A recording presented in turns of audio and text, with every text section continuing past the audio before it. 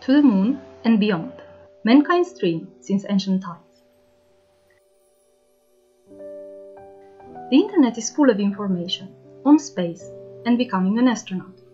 I just heard of new plans to explore the moon. Only 12 people walked on the moon. Maybe the next one will be me. Hi everyone, my name is Andrei.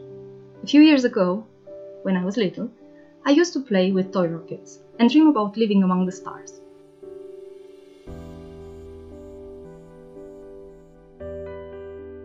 I'm all grown up now. I go to school. I read and learn and get to ask all the questions. My dreams are bigger too. Andrei wants to be an astronaut. Hmm. People don't always believe or encourage me, but everything changed one day. It was all over the news. Houston, prepare for astronauts with disabilities. It's time to rethink who's best suited for space travel the case for disabled astronauts.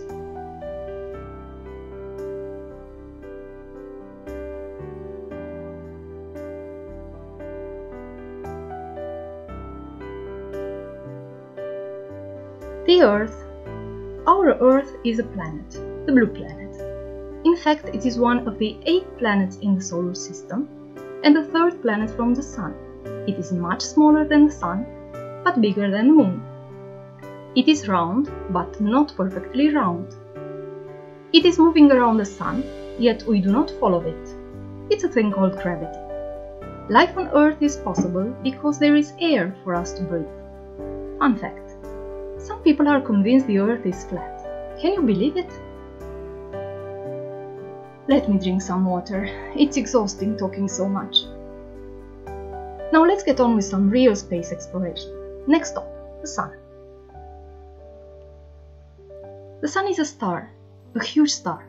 One million Earths could fit inside. Its shape is an almost perfect sphere. We see the Sun during the day, when it's not too cloudy. The Sun gives us light. Fun fact, in fact not so fun. No one ever set foot on the Sun. Why? Because it's very very hot. Let's go somewhere else then. Back home already? Not yet. The Moon is the only natural satellite Earth has. It is smaller than the Earth and not perfectly round either.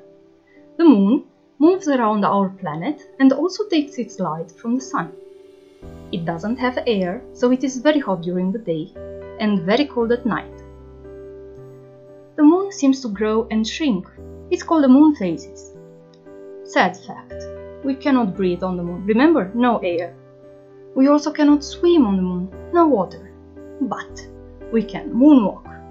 Fun fact, useful fact. A person weighs much less on the moon. I could move about quite freely.